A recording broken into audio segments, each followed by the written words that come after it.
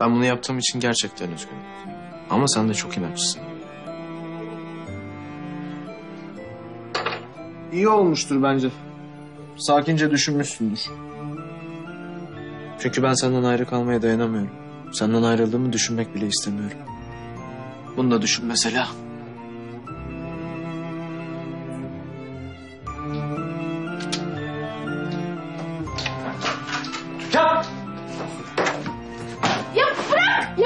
Ya bırak beni dedim! Geç bakayım şuraya. Bırak bırak! Bırak dedim sana! Bırak! Beni buraya hapsedemezsin. Senden nefret ediyorum.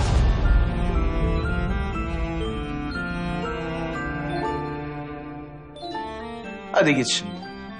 Ama eğer gidersen Türkan peşinden gelmem. Ne bağışlanmak isterim ne de bağışlanmayı dilerim. Gerçekten biter.